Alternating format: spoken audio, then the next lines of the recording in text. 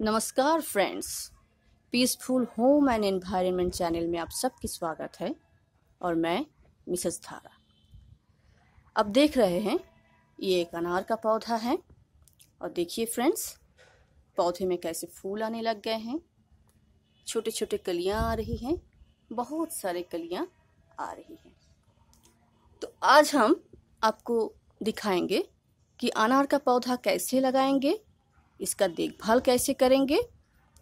वास्तु या ज्योतिष में इस पौधे का क्या विशेष महत्व है? और अनार की न्यूट्रिशन वैल्यू क्या है? हम लोग अनार क्यों खाते हैं या क्यों खाएँगे? इसकी पूरी जानकारी हम इस वीडियो में देंगे। तो चलिए शुरू करते हैं। उससे पहले मैं एक बात बता दूँ।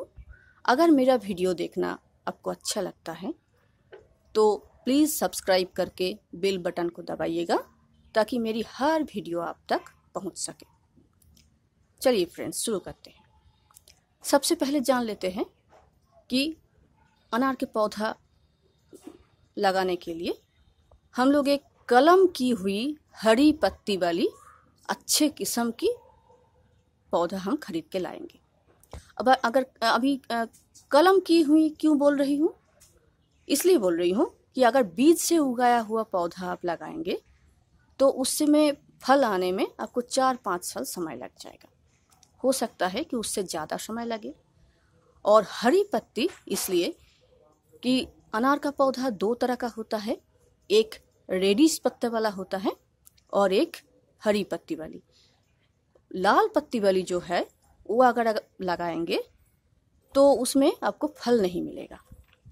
तो इसीलिए आपको ऐसे हरी पत्ती वाली, देख रहे हैं आप, ये हरे हरे जो पत्ते हैं ग्रीन लीव्स ऐसा एक पौधा आपको नर्सरी से लाना पड़ेगा।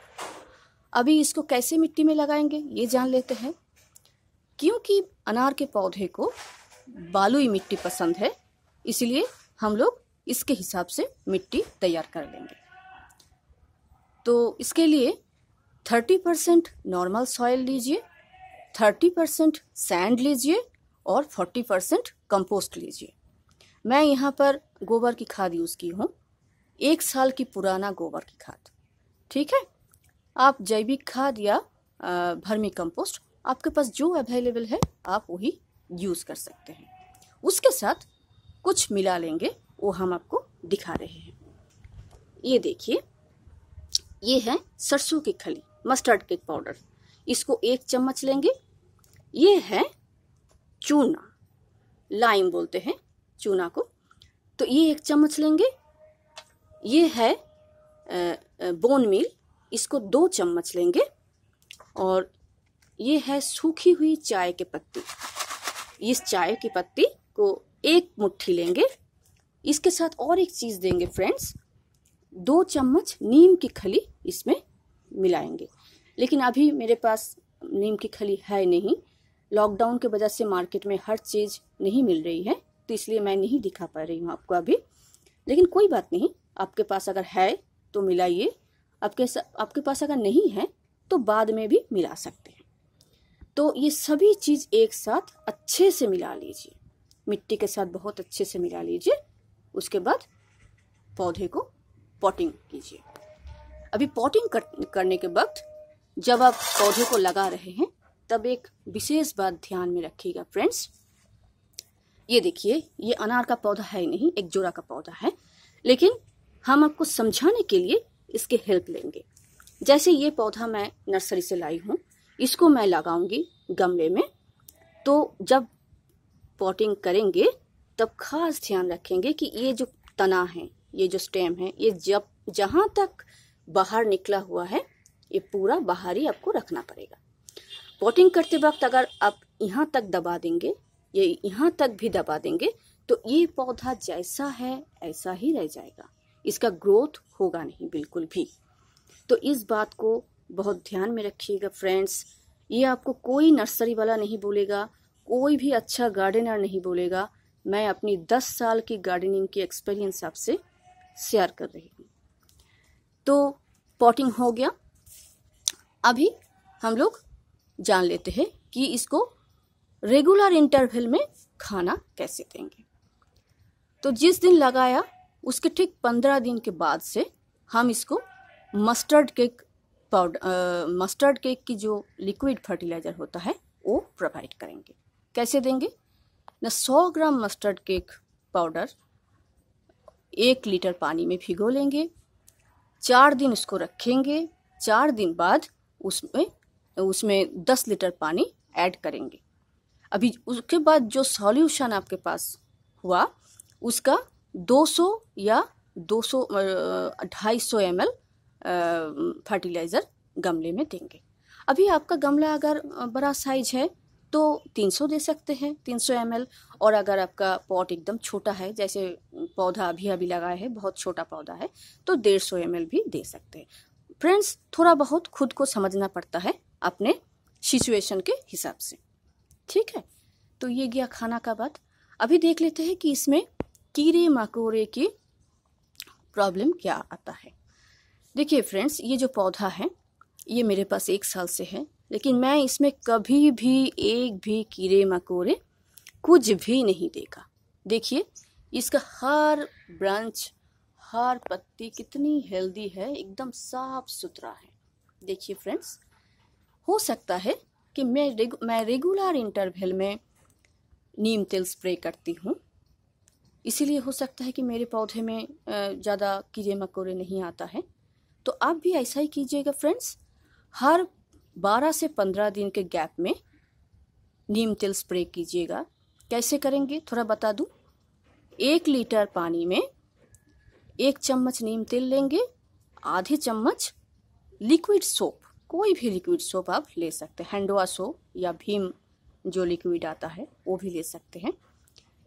तो पानी साबुन लिक्विड सोप और नीम तेल एक साथ अच्छे तरह से मिला लीजिए। एक स्प्रे बॉटल में बॉटल में भर के अच्छी तरह से आप पूरे में आ, स्प्रे कर दीजिए। तो इससे क्या होगा? आपके गार्डन में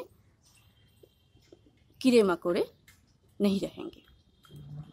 तो ये हो गया गार्डनिंग की बात।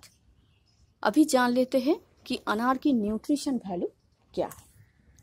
अनार में vitamin A vitamin E vitamin C और फॉलिक एसिड पाया जाता है। ये वज़न घटाने में सहायक होता है। अनार ब्लड प्रेशर को कम करता है। इसमें एंटीऑक्सीडेंट प्रॉपर्टीज़ मिलती है जो हार्ट को हेल्दी रखने में हेल्प करते हैं। अनार कैंसर सेल को डैमेज करने की क्षमता रखते हैं। अनार खाने से डाइजेस्टिव सिस्टम ठीक रहता है। अनार जोड़ों के दर्द को भी ठीक करते हैं।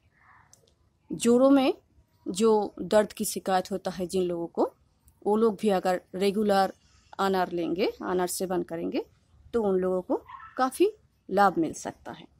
और अनार खाने से शरीर में रक्त बनता है। ये तो शायद सभी लोगों को पता है। तो अनार हम लोग कोई भी खा सकते हैं, चाहे बीमार हो, चाहे बच्चे हो, चाहे बुज़ुर्ग हो। अनार बहुत ही लाभदायक, बहुत ही न्यूट्रिशस एक फ्रूट है। अभी जान लेते हैं कि वास्तु या ज्योतिष में अनार का, अनार के जो पौधे हैं, उसका क्या महत्व है।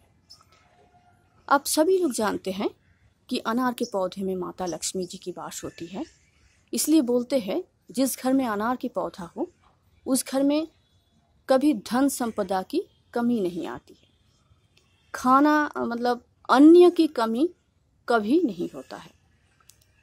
और क्योंकि अनार के पौधे से पॉजिटिव एनर्जी पॉजिटिव एनर्जी की संचार होती है तो इसीलिए बोला जाता है कि जहाँ अनार का पौधा होता है, वहाँ के लोगों के शरीर में बीमारी, ये सब भी कम होता है।